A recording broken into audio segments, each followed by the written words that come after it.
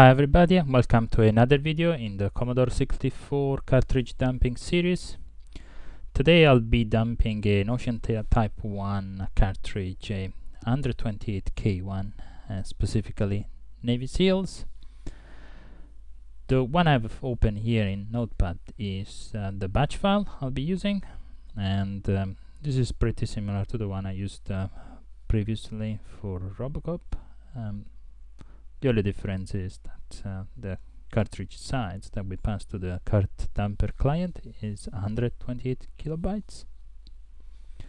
The Lua script referenced here is the one we've seen the other uh, the other video, which supports all Ocean Type 1 cartridges, excluding Chase HQ2. Uh, we will see why that in another video. But that's pretty much it. Uh, usual stuff. Bank selection, so on and so forth. Let's see how it goes.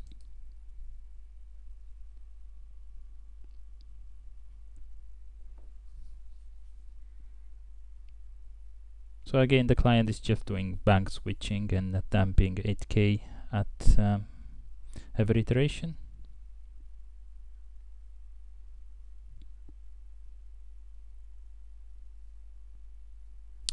Looking pretty good so far.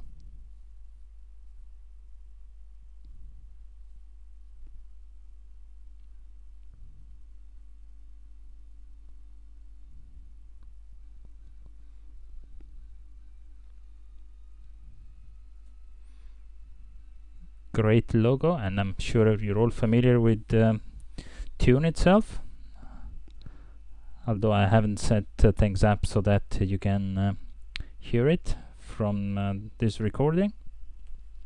But let's see what the game looks like. I used to play this game on Amiga at the time. Yeah but this this is what I remember. Um, it was um, on the Commodore 64 so the process seems to have gone uh, quite uh, well, quite smoothly.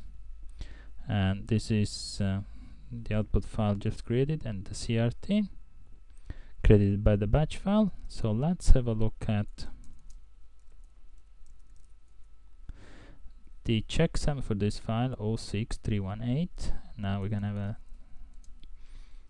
a look at what the